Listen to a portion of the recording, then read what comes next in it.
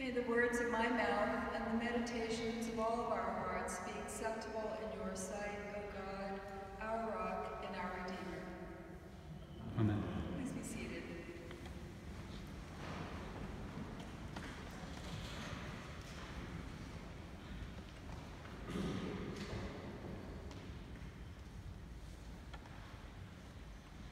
This morning's Old Testament reading is from a book called Song of Solomon or Song of Songs.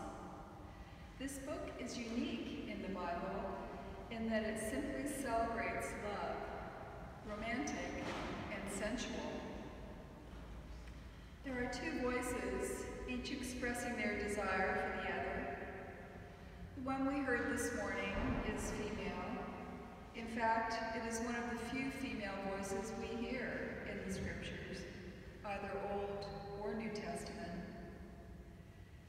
And we know that biblical literature was frequently ascribed to monumental figures from history, from the history of Judaism and Christianity. So it is unlikely that Solomon was the author of Song of Songs. But as you remember, Solomon was a king reputed to be gifted with superior wisdom.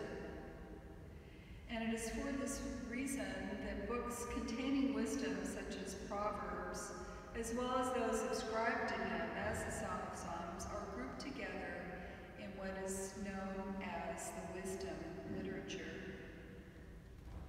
But Song of Songs is really more of a poem than a book of insight into wise living, isn't it? Or is it? Next week, thousands of people will converge on San Francisco for Governor Brown's Climate, Ac Climate Action Summit, Global Climate Action Summit. And there's an interfaith service as well as a schedule of workshops to be held at Grace Cathedral. And you can go online or you can contact Cynthia to learn more about that. So the church is getting involved in a big way in highlighting the consequence of consequences of climate change. Meanwhile, there are some in the church who believe that we have no place in the civil discourse of this hot button topic. And just yesterday, in fact, I was looking at the coverage of John McCain's uh, funeral and happened upon a video from the Tucker Carlson show. And who should I see in this video clip but actually a colleague of mine from Connecticut, Reverend Alex Dyer.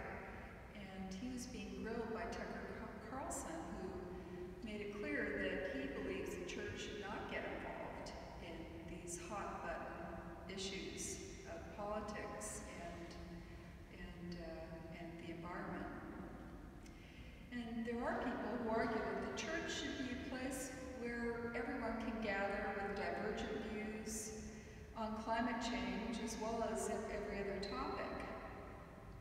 And that taking a side might discourage those who are skeptical of the science and those who stress economic development above our responsibility to the environment. How do you feel about this issue? We know where Pope Francis stands. Three years ago,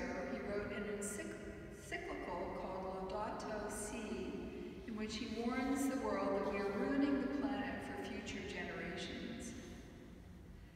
The Patriarch of the Eastern Orthodox Church joined the Pope in calling for a concerted effort in the world to take responsibility now, to take climate change seriously, and to do what we can to reduce greenhouse gases. Now, any discussion of the Church's response to climate change should include the reality Christian theology has been slow to take responsibility and has, in fact, validated the mistreatment of creation. The Genesis accounts of creation put humankind at the top of the pyramid. Male and female lead alone among all of creation were created in God's image.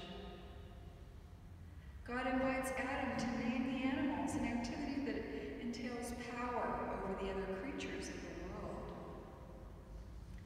This hierarchical understanding of man is gifted by God with power over creation, unfortunately, led to the widespread abuse of our environment. Now, in recent years, Christian theology has sought to reframe the position of humankind in the world to that not as not as overlords, but as stewards of creation, not the owners of it. Ownership belongs to God alone. Our role is that of caretaker. Perhaps what is, has been missing for most of us, with a few notable exceptions, is to see the natural world the way that God sees it, through eyes of love. God is love, God looks at creation through eyes of love. I think of environmental visionaries like John Muir, Henry David Thoreau, Rachel Carlson, Carson, as exceptions, but in the words from the Song of Psalms we hear this morning, we learn that the world is to be celebrated. The words entail not just a celebration of love between romantic partners, but also a celebration of creation, a celebration of the love of creation, our natural world. Look, he comes leaping upon the mountains, bounding over the hills. My beloved is like a gazelle or a young stag. The winter is past, the rain is over and gone. The flowers appear on the earth, the time of singing has come, and the voice of the turtle dove is heard in our land. The fig tree puts forth its figs, and the vines are in blossom. They give forth fragrance.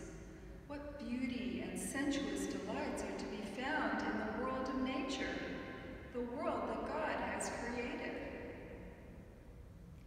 There are many people living today whose spirituality and relationship with God is nurtured by nature. I think of poets like Wendell Berry and Mary Oliver, who wrote these words. You do not have to be good. You do not have to walk on your knees for a hundred miles through the desert, repenting. You only have to let the soft animal of your body love what it loves. Tell me about despair, yours, and I will tell you mine. Meanwhile, the world goes on. Meanwhile, the sun and the clear pebbles of the rain are moving across the landscapes, over the prairies and the deep trees, the mountains and the rivers. Meanwhile, the wild geese high in the clean blue air are heading home again. Whoever you are, no matter how lonely, the world offers itself to your imagination, calls to you like the wild geese, harsh and exciting, over and over, announcing your place in the family of things. We who live in cities and suburbs may have lost our sense that we have a place in the family of things. It's clear that the degradation of the environment began with the Industrial Revolution in which human technology and engineering began to subjugate to produce economic goods, and certainly the material standard of living rose for masses of people as a result. But at some point, the returns on polluting the air, the oceans, our fresh water, raising the temperatures of the earth can no longer be justified. And of course, it is the people on the margins who lack air conditioning, who lack refrigeration, who are prone to food insecurity, and famine, who are living in areas where natural disasters are felt more strongly, these are the people who will feel the brunt of the ways in which we have disrespected the earth. But closer to home, for two years in a row, the air quality in San Francisco has several times reached dangerous levels of pollution from the fires ravishing the state. It is truly time now to make action against further environmental destruction the priority. How can we do this? We can look at our own carbon footprint and seek to reduce it. We can vote for politicians who understand that the future of life on the planet is at stake, and short-term interests must be superseded by long-term planning to stem environmental degradation. We can all become more educated about the issues and able to talk with others from an informed perspective. Perhaps you have friends and acquaintances and relatives don't understand the urgency of this issue. You and I have seen the ash and breathed the smoke-filled air too often to deny that the natural world around us is changing. Finally, perhaps the deepest way that we can be part of the campaign to save the planet is to allow ourselves to fall in love with the world that God has created. Spend time in nature. Listen to birdsong. Feel the cool ocean breeze and the sand of a California beach between your toes. Notice the unseen ways that our environment supports our lives when the air is clear and the water is clean to drink. Let us celebrate God's gifts to us in creation and vow to become better stewards of the awesome planet on which we live.